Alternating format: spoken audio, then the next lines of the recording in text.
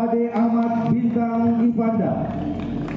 Juara satu gereja nasional.